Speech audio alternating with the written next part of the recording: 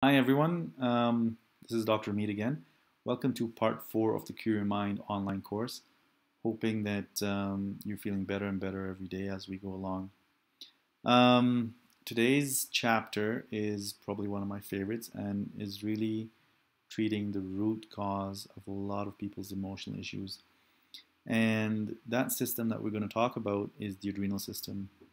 We'll also mention the thyroid gland uh, in today's lecture However, the main focus is really the pillar of your resilience, your emotional resilience, and your ability to withstand stress.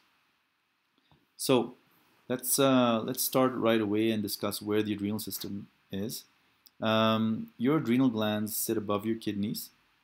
They're right here. You can see the arrow pointing there, and they get signals from your brain, direct signals. So your adrenal glands produce um, adrenaline and noradrenaline and a lot of other hormones. And they're responsible for your fight or flight response. So if you're being attacked by a lion or you feel threatened, you suddenly get this urge to either fight or run away. That's known as fight or flight.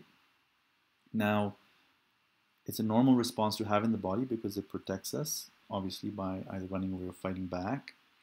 However, in today's world, the we are actually continuously stimulated by stressful signals. So the adrenal glands never have a chance to switch off. For example, um, you might have phone calls every hour or every half an hour. You might have financial deadlines. You might have marital problems. Um, just overwork, late nights, family issues. All these are signals to the adrenal system via your brain they're signaling your adrenal system to be ready, to prepare, to fight or flee, or to deal with some difficult situation. And you can imagine what that does. It, over time, it exhausts your adrenal system. And that's why most people today are completely exhausted. They have adrenal fatigue.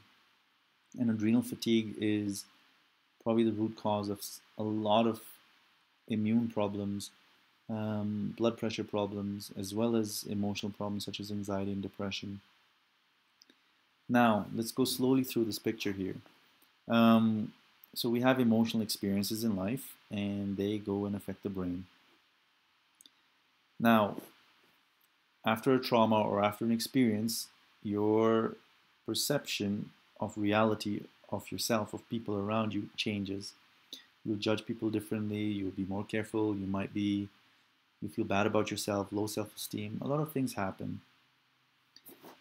When you have an altered view of yourself, of the world after an experience, there's actually physical changes that happen in your brain as well.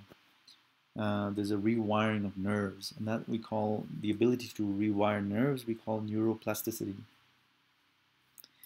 And when this rewiring happens, you're also going to have behavioral changes, right? So I'm not saying that the rewiring causes the behavioral changes. The trauma and life experiences cause behavioral changes, and this could cause the physical changes in the brain, or they have they happen simultaneously. When that happens, of course, with the brain changes, you'll get uh, when the brain nerves change their connections. That means the way they signal the body also changes, right? And that's why emotional experiences can affect your body physically. The key organs that are affected during stress and trauma, of course, are your adrenal system. So, what happens is after an emotional event, your body stores the memory, stores the stress actually as an emotional memory. And that continuously tells the adrenal system to be prepared in case danger happens again, in case uh, a divorce happens in the future, in case there's another financial deadline.